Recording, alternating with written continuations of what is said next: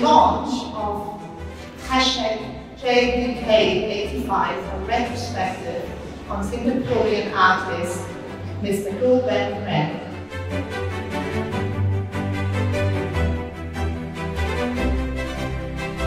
It gives me great pleasure to be here today at the opening of my father's exhibition, GBK85, with our guest of honor, Madam President Yacob.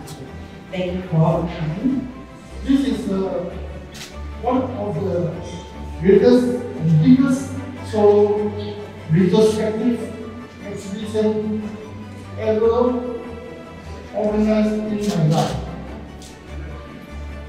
Hashtag GBK85 is not just another exhibition or a retrospective.